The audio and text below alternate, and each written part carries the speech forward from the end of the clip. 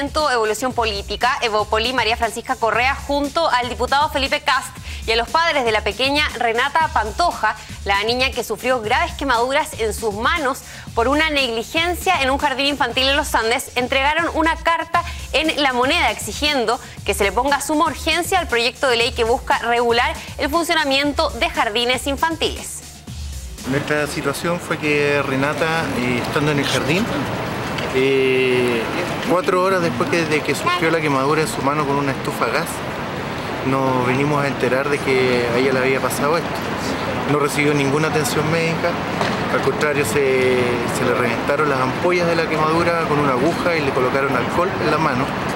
Y luego de cuatro horas mi esposa se entera de este hecho, lo cual eh, nosotros nos percatamos con, los conocimientos que después fuimos obteniendo de que Jardín no contaba con su padrón desde julio del año pasado. Y que la fecha de que mi esposa ingresó al jardín a la niña, que fue en octubre, ya no contaba con, con ese padrón, con ese permiso. Y que Jardín contaba solamente con una parvularia, universitaria y la demás solamente auxiliar. Claramente hoy día hay una desregulación enorme en los jardines infantiles y lo que estamos haciendo el día de hoy es justamente apoyar a esta causa, que creemos que es fundamental que sea parte de las reformas que incluye la reforma educacional.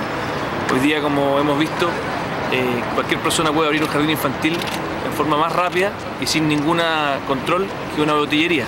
Hoy día es más fácil abrir un jardín infantil que una botillería, pero no solo eso. Cualquier persona puede instalar un jardín infantil, incluso un pedófilo. Y eso